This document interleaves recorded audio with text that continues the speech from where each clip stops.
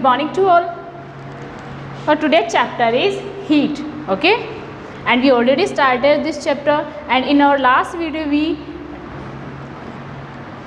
we was talking about uh, conduction of heat convection of heat radiation of heat. अपन ने अपने last video में अपन ने बात की थी कि हीट का जो ट्रांसफ़र होता है वन बॉडी से अदर बॉडी में जब हीट का ट्रांसफ़र होता है तो वो किस तरह से होता है? उसके लिए अपन ने एग्ज़ाम्पल भी देखा था ठीक है? उसको समझने के लिए अपन ने देखा था कि जो हीट का ट्रांसफ़र हो रहा है ठीक है? तो उसमें अपने अपने अपने क्या किया था? एक क्लास का एग्ज़ाम्पल अपन ने लिया था। थ्री टाइप से अपन ने क्या की थी? टॉफ़ी अपन डिस्ट्रीब्यूट कर रहे हैं। उस टाइप उस थ्री मेथड से अपन क्या कर सकते हैं? अपना जो हीट ट्रांसफ़र है उसको अपन ईजीली समझ सकते हैं। Okay then today we will talk about conduction okay we are going to discuss about conduction अभी अपन किसके बारे में बात करेंगे?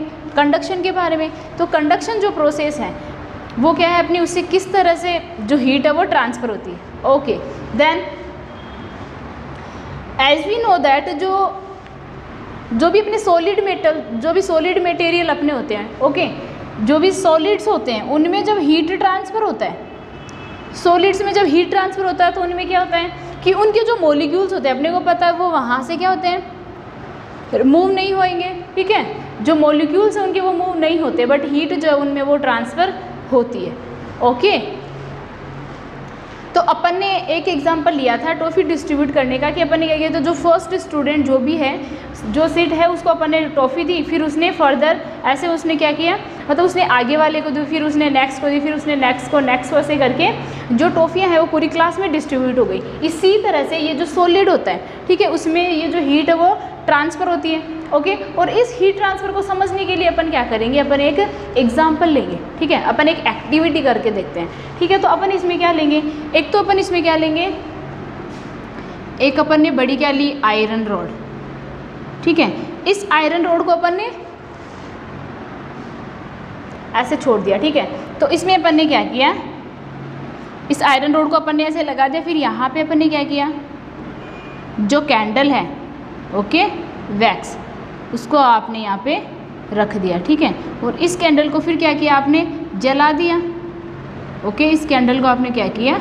जला दिया, ठीक है? और उससे पहले अपन ने आपने क्या किया है? जो वैक्स आपने मतलब आपने कुछ वैक्स के जो पीसेज हैं, वो आपने लिए और फिर आपने यहाँ पे वैक्स का जो टुकड़ा है, वो चिपका दिया, यहाँ पे लगा दिए यहाँ पे लगा दिया। और इस तरह से आपने क्या किया? इस आयरन रोड पे पूरे पे क्या कर दिया?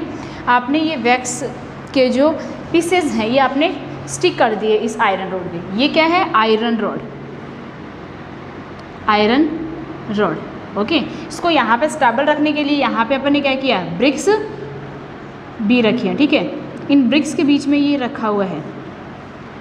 ओके तो इसको स्टेबल रखने के लिए अपन ने ये किया। ये क्या हो गया wax and this is candle. आप यहाँ पे कुछ और भी ले सकते हो इसको गर्म करने के लिए, ठीक है? अपने वो क्या करना है, इस आयरन रोड को क्या करना है? हीट देना है। और ये आयरन क्या हो गई? आयरन क्या हो गया? मेटल हो गया, ठीक है? तो इसमें ये क्या हो गया? सॉलिड हो गया। मेटल है और सॉलिड मेटल हो गया, ठीक है? तो इसके जो मतलब सॉलिड से अपन क्या समझते हैं कि अपना जो भी ऑब्जेक्ट्स होता है लाइक मैंने ये क्या किया? ये आयरन रोड है, ठीक है? तो इसके जो मोलिक्यूल्स होते हैं, वो क्या होते हैं? एक दूसरे से कंजस्टेड होते हैं। इस टाइप से ये क्या करते हैं? एक दूसरे से कंजस्टेड होते हैं। अपन यही तो पढ़ते हैं, जब सॉलिड लिक्विड गैस की जब अपन अगर बात करें तो अपन क्या करते हैं कि जो इस टाइप से इसके जो मोलिक्यूल्स होते हैं, एकदम कंजस्टेड होते हैं, एक दूसरे से एकदम अटैच होते हैं तो इस टाइप का जो अगर मोलिक्यूल है वो अगर इतने पास में होते हैं तो अपना जो ऑब्जेक्ट है वो क्या हो गया?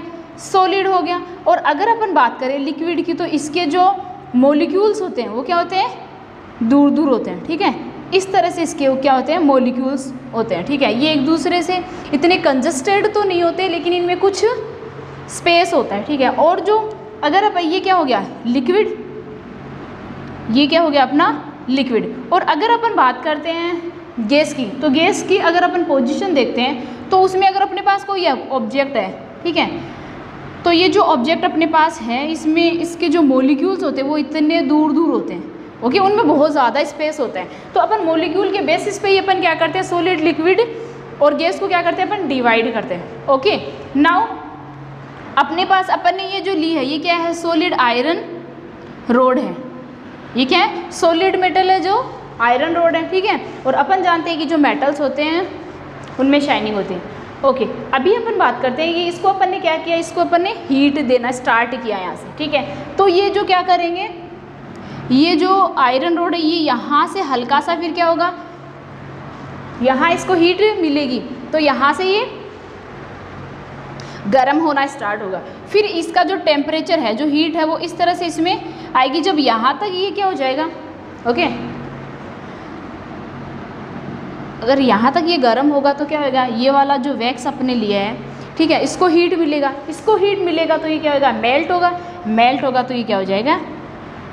फॉल डाउन ओके देन फिर और क्या होगा? फिर यहाँ तक गर्म होगा तो ये वैक्स का जो पीस अपन ने लिया है, ये गिरेगा। और इस तरह से ये जो वैक्स के जो अपने पीसेज लिए हैं, इस तरह से ये क्या होंगे? मेल्ट होके फिर नीचे गिरते जाएँगे। Done okay I hope you can understand this activity इस एक्टिविटी से आप ये समझ गए होंगे कि इसमें क्या हो रहा है अपनी, जो हीट ट्रांसफ़र है वो कैसे होता है। हीट क्या होती है? इस तरह से स्लो स्लो क्या होती है? इसमें ट्रांसफ़र होती है। अब देखो इसमें होता कैसे है? ये जो सोलिड है, इसमें हीट का ट्रांसफ़र होता कैसे है? अभी अगर अपन बात करें ये सॉलिड की, ये क्या है अपना सोलिड मटेरियल है, ठीक है?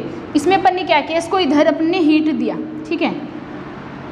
इतना ही ले लेते हैं एक बार, ठीक है? अगर अपन क्या करेंगे, इसको हीट दे रहे हैं, ठीक है? अपन इसको टेम्परेचर दे रहे हैं। जब आप इसको टेम्परेचर दे रहे हो तो ये क्या हो जाएगा?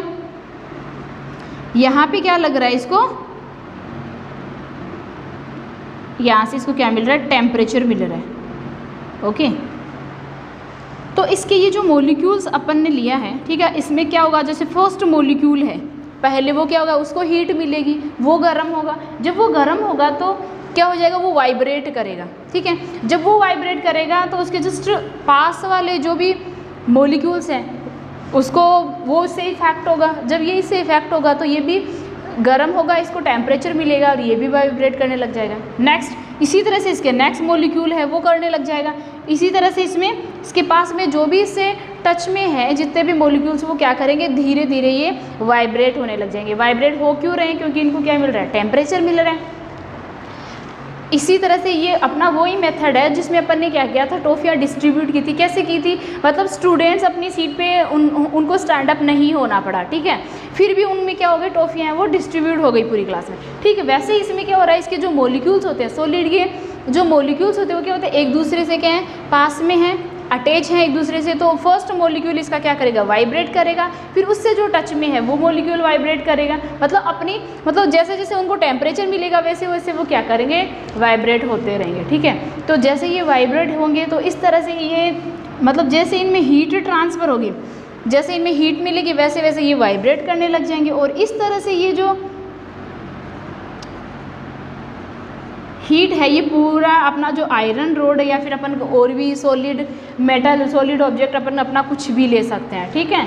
जो सॉलिड मेटल्स हो, ठीक है? तो उसमें क्या हो जाएगी? इस तरह से ये हीट जो है वो ट्रांसफ़र हो जाएगी okay this process is the conduction of heat ये जो प्रोसेस है हीट ट्रांसफ़र की, ये कौन सी प्रोसेस हो गई? Conduction of heat okay now I hope you understand जितने भी अपने सॉलिड मेटल्स होते हैं, उनमें हीट का ट्रांसफ़र किस तरह से होता है? बाय कंडक्शन उसमें कंडक्शन से ही हीट का क्या होता है? ट्रांसफ़र होता है. डन नाउ इनफ हो today and remaining chapter we will discuss in our next video so thank you